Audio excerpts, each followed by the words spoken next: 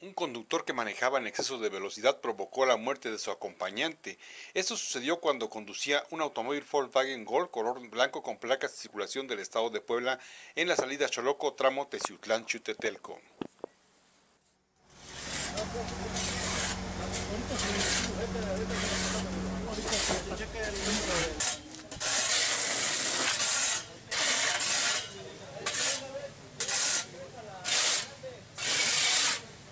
Estamos en la entrada, salida del barrio de Coloco. Hay una persona muerta. Es un automóvil de Gor. Aparentemente en medio Hay una persona fallecida en este punto automovilístico. Nos encontramos en la entrada de Choloco. A partir de ahí realizando el levantamiento del cadáver de esa persona.